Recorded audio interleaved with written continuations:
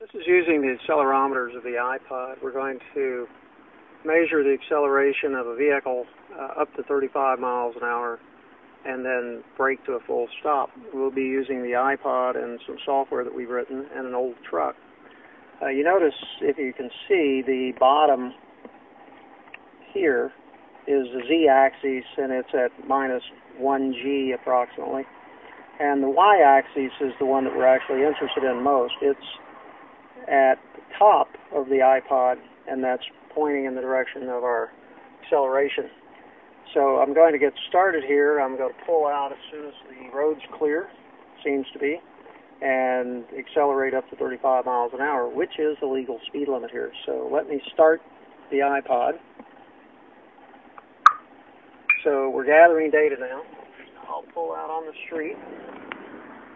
There's the street. There's the speedometer, and here we go. So up to 35 miles an hour, and then I'm going to stop it completely. Nobody's behind me, so we'll come to a full stop. Nobody's behind me still, and we'll do it again. Let's go. So up to 35 miles an hour, and then another full stop. Well, maybe a little more than 35 miles an hour. So at this point, we should have some data, and we'll look at it together.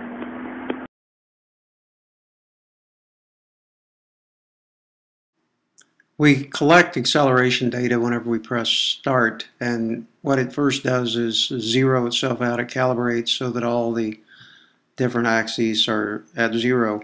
And you'll notice here the y-axis is the one that we're interested in. And it should go positive here as I accelerate.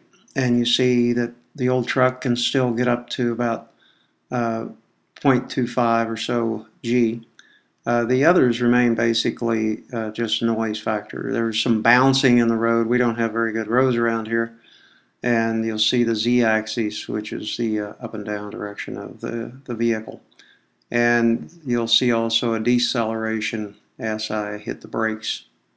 So that's what this particular experiment did, was to, uh, again, collect data on the uh, x, y, z axes the y is the one that's most interesting to us, so since that's acceleration, deceleration. Uh, next, we'll look at the actual plots of, to show us what it looks like. Looking at the plot of the data, we can see better how the acceleration actually and deceleration actually was uh, performed. We see a up, a down, another up, and then another down. The up, of course, is on the y-axis where we were accelerating, the down is where we saw the braking occurring. So we had two accelerations, two decelerations, and those were nicely recorded on the plot.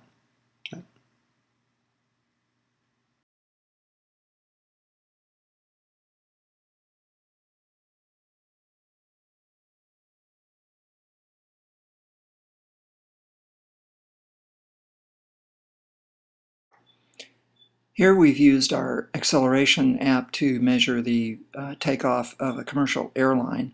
You can see that we're running down the runway there at about 1G, so a little bouncing.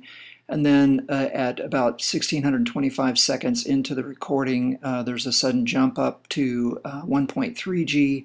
We hang around there for about 100 seconds, and then gradually the acceleration tapers off as we reach uh, a climbing speed. Signalscope is an app that allows you to use your iPhone as an oscilloscope. And here I've got it connected to a frequency generator. We're set at about 3000 hertz.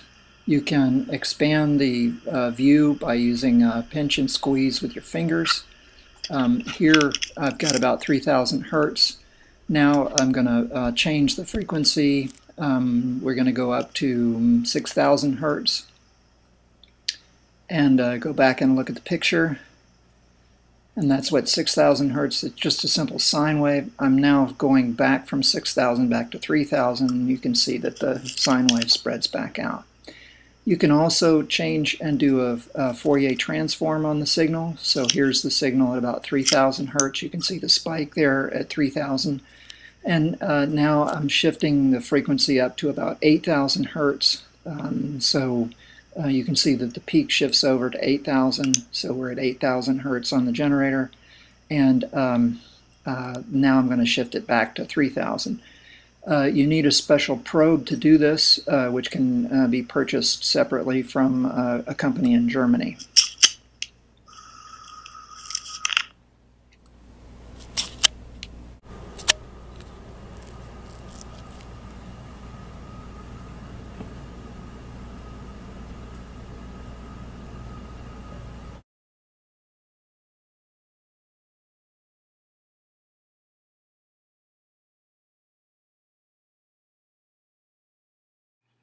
The magnetometer uh, is not only a compass that points north and south, but it also gives you the dip angle, the direction that the magnetic field points into the Earth. You'll notice the arrow here points slightly to the left and down into the ground as I rotate the iPhone around.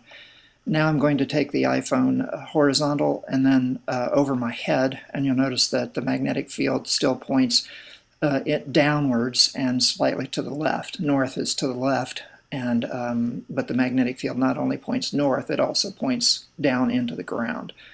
You'll notice that the um, reading is around 62 uh, microteslas. That's uh, that's about what the magnetic field is at this location.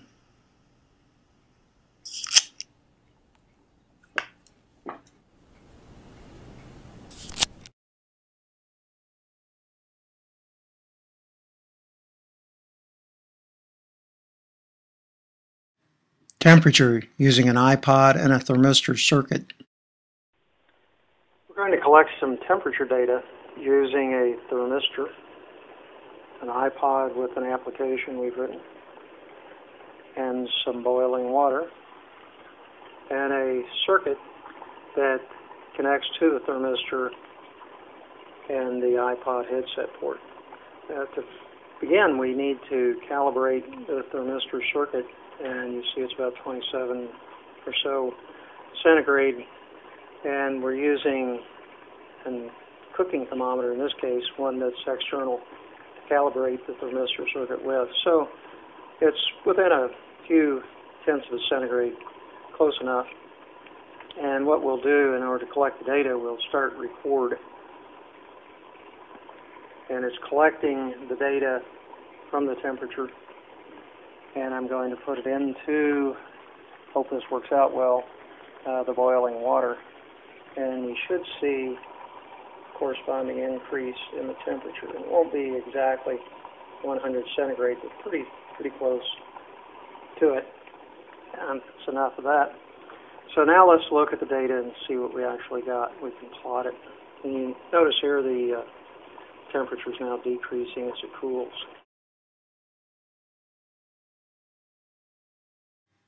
By plotting the data, we can see how the temperature changes over time, something you can't do very well with just a simple thermometer. What we're going to do here is to move through changing the time of that we're looking at the uh, data and we can see different times we can stretch it out pan around and look at different times that we've collected the data and what I'm going to try to do is to find where you actually hit the maximum. And notice it is pretty close to 100 centigrade, which is what we would expect. The circuit itself is fairly simple. This is just a picture of it, of course. If we look at the actual circuit, we see that its connection to the iPod is pretty simple.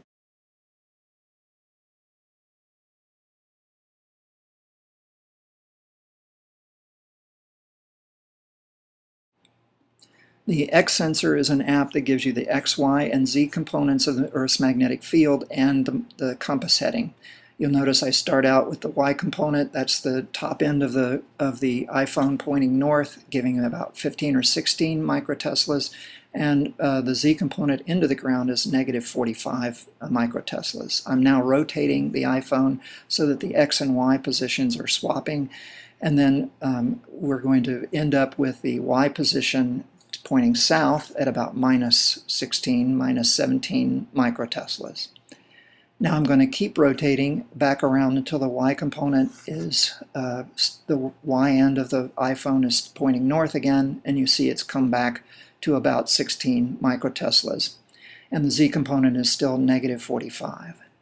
If I now pick up the iPhone and rotate it to the top end towards me to where the um, bottom of the iPhone points north, what we'll see is that the component uh, of into the ground, which is 45, negative 45 teslas, is now in the negative y direction uh, relative to the iPhone, and the um, what was the z component is now is now pointing uh, north.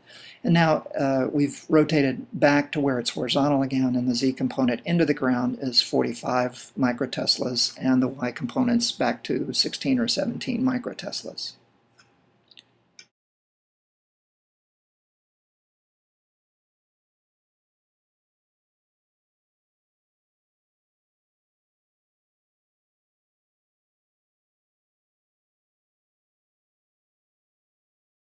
OScope is an app that will let you see the waveform and the fast Fourier transform of a note. Here you can see the waveform. Sorry, the guitar is not completely in tune. Now I'm going to switch on the Fourier transform and I'll whistle first.